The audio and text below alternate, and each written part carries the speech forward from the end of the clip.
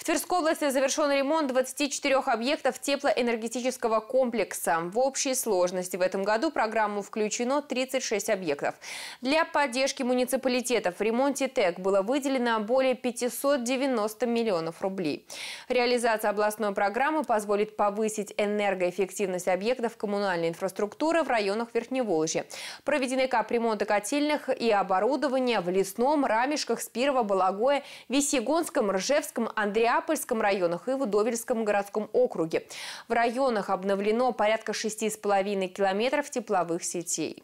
Городское население, сельское население, э, где строятся э, новые котельные, оно, я думаю, совершенно э, четко будет видеть эффективность работы вот этого направления инвестиционной политики. Потому что, говоря о строительстве новых котельных, мы еще говорим о себестоимости реализации услуг. Она, конечно, будет ниже.